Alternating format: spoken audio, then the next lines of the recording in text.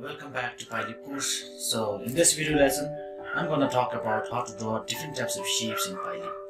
So for that, uh, to give you a demo on how to draw different types of shapes, I'm going to do one simple project that is something like this. So let's begin.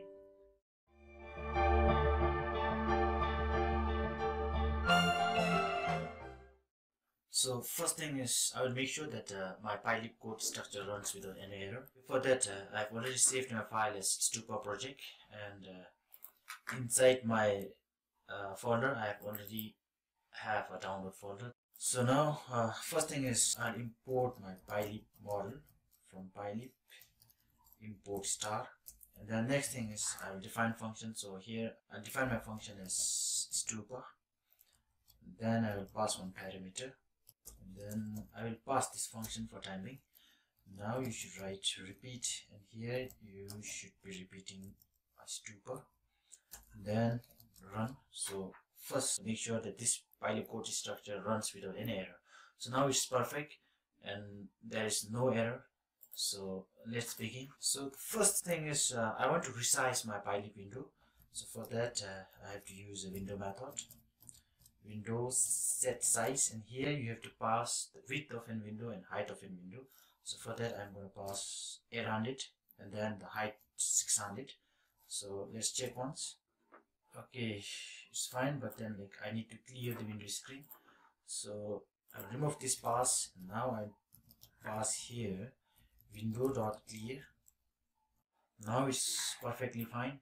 So before I start drawing my stupa here, so I would recommend you to like, uh, whenever you are dealing with the shapes, I would recommend you to show a grid line so that uh, you can exactly align the shape and you can exactly find the coordinates of the shape.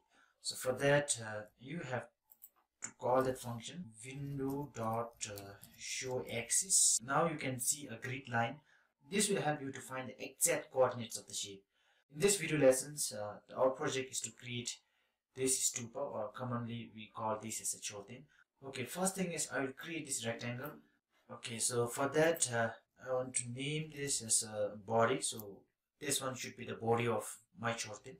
So here i'm going to call a rectangle. So since this one is a class make sure that uh, your first letter should always start with the capital letter otherwise you will get an error so I'm calling a rectangle method. First one is you have to pass the x and y coordinates of first vertex and then to width of a rectangle and then height and then the color of a rectangle. To draw this, I want to find the exact uh, locations. I want to draw a rectangle at this location. So what you should know is the first thing is you have to pass the x coordinate and y coordinates of this location and uh, and then uh, you have to pass the width and height of a rectangle. So for that uh, this one like uh, the x and y coordinates is so maybe I'll write this in a paper. The x coordinates of 300 and y coordinates of 100 and then the width width is 200 and then the height is exactly 100 200 300 so height is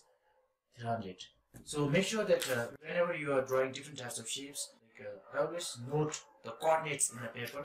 Something like this clear this okay so now i want to pass the x coordinates. So i read from my paper. So the x coordinates of 300 and then y coordinates 100 and then the width is 200 and the height is 300 and here the last attribute you should pass a color. By default it is an orange. So i will pass a gray for here. So now here you have to draw your body. Now for that you have to body dot draw. Okay now let's run. Now you see that we have perfectly got a rectangle. So now next that i'm going to draw is somewhere in the middle.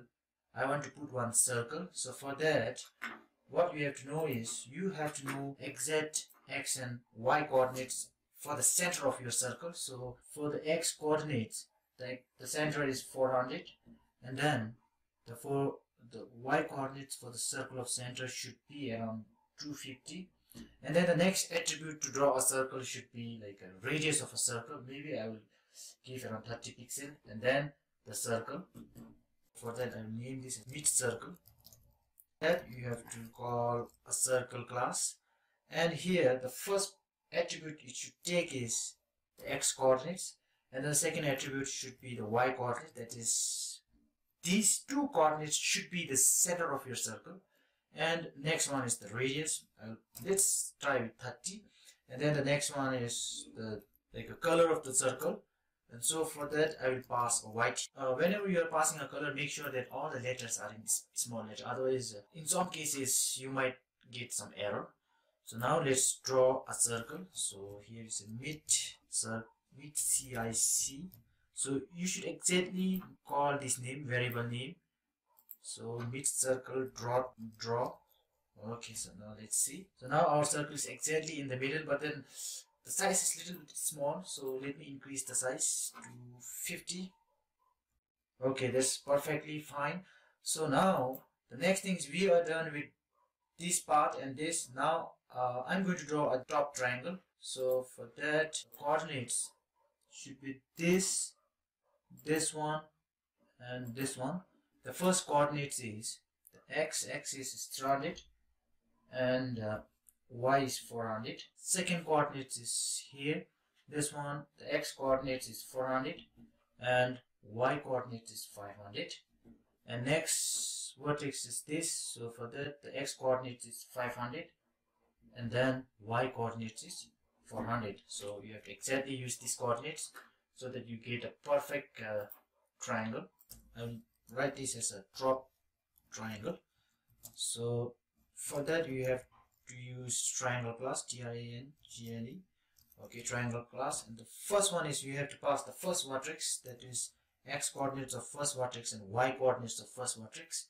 So 300 by 400 and now on the top uh, we have uh, x coordinates of 400 and y coordinates of 500 and then to the next the last vertex we have uh, 500 by 400 these are like uh, x coordinates and y coordinates. And lastly I will pass the color of the triangle. So I will use black here. And then now you need to draw this triangle. So top triangle. Okay draw draw. So now let's run this code. Okay now we exactly got a triangle so that's perfect. The next thing is I want to draw a base. So for that uh, I'm going to draw one polygon. I want to take this vertex then this vertex and then this vertex and then this vertex. I want to draw a polygon something like this. So for that I will take uh, like a first vertex. So for this vertex the coordinates is x coordinates of 200 y coordinates of 100 and then for this we have x coordinates of 600 y coordinates of 100 and then next I want to take this. It should be in serial. Otherwise uh, your shape might get distorted. So next x coordinates of 650 and then y coordinates of 50 and then here I have to use this. So for that x coordinates of 150 okay 150 and uh, y coordinates of 50 so let's try to apply this. Let me name this as base okay for that I will use a polygon class so this polygon can be used with any other different types of shapes like whether you want to draw a square or like a octagon, pentagon, anything. You can use uh, this polygon because it can trace every vertex of the shapes. So for that we have to use P-O-L-Y-G-O-N, polygon. And then here you have to pass the first vertex. My first vertex is 200 by 100. And then next one is uh, 600 by 100. Okay. So now next vertex is 650 by 50 and the next one is 150 by okay 50 and lastly you can pass one color. So for that let's pass green. So now I have to draw one base dot draw. So let's check once. So now you see that we have exactly got this polygon shape. Next thing is I want to draw somewhere here maybe a small rectangle a red color rectangle. So for that uh, what we have to do is first thing is you have to find the coordinates maybe some this much okay first coordinates second coordinates third coordinates and fourth coordinates. So we have to find the coordinates of these four vertex. So for that this one is uh, x is 300 okay x 300 and then y is uh, 350 so by the way like uh, when you are hovering your mouse you will get a coordinates here. I will call this as a top rectangle. Top rect okay for that I can use RECTNG rectangle. And first x coordinates is 300 y coordinates is 350 and then the width is uh, 200 and height I'm going to give 50 and now let me pass one color here so I will use red. So now you have to draw this here. So for that you have to use top rect dot draw. Okay. Now run. We have got rectangle exactly fitted in our chorten so the next thing is uh, I want to draw prayer flag here. I want to draw a line from here till here. So for a line you can use a line class and it will take a starting point like x and y coordinates of the starting point of the line and then a point of x and y coordinates. So starting point is this and end x and y coordinates should be this. So for that uh, my coordinates is this one has a coordinates of x-axis 100 and y-axis 100 and the end is x coordinates of 100 and y coordinates of 500 and the extra thing that line class take is it will take a thickness of the line. Maybe I will give around 5 so let's check once okay now maybe I'll name this as prayer flag. Okay. So for that I will use a line class okay, L line okay. The first attribute should be like a starting point of a line x and y coordinates so starting point of x is 100 and y is 100 so next one is starting point of x is 100 and the next one is x y coordinates 500 and now the next it will take is the thickness of your line. Maybe I will give around 5 and then the last attribute you can pass color of your line. Maybe I will use a black here. So now I have to draw a prayer flag here. Okay now let's see. Now we have exactly got a prayer flag.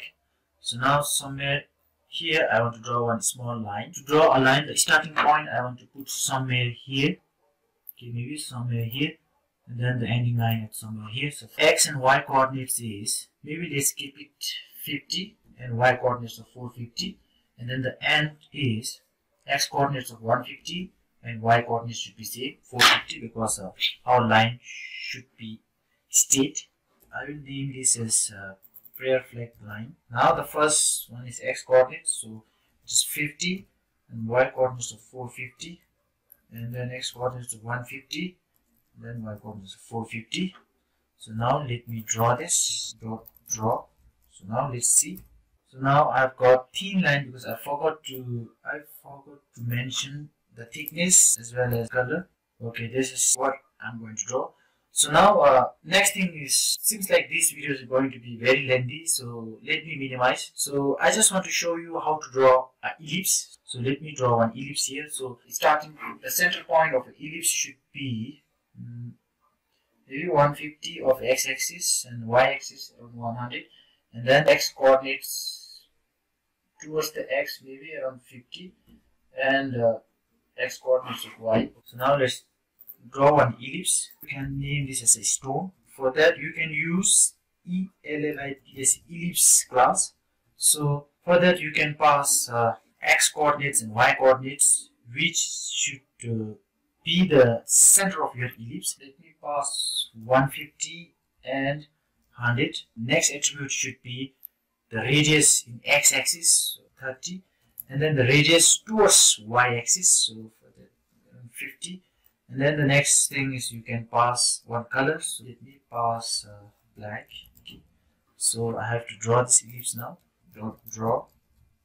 Now you see that you can draw an ellipse and the looks a little bit weird maybe I need to change the coordinates maybe I have to put 50 here and 30 somewhere here now this looks fine so basically I'm not going to complete uh, the drawing here because it might take too long now you already have an idea that to draw a rectangle, triangle, circle, ellipse, polygons. Basically these are the things that you need to know while you're working with the, the shapes.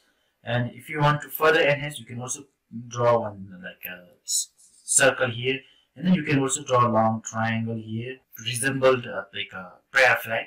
And then the last thing before I close this video I want to share one thing that is there are two ways to draw in PyLeap. The first one is your draw method and second thing is there is also something called stroke where you you don't see any fill color except you will see only stroke line so maybe let me show a demo for this circle. Our mid circle is this. So i've used a draw method but you can also use something like stroke that means you can see only the outer line. So let me run this code. You can use stroke line if you just want to see the outer part. And if you want to see full shape with the color then you can use a draw method. So it can be applied in any ways. Like uh, even in the top right triangle like I can even pass stroke here okay you see that you get only a stroke line. So the very important thing is I have not covered all the shapes to draw the different types of shapes you can use a polygon method.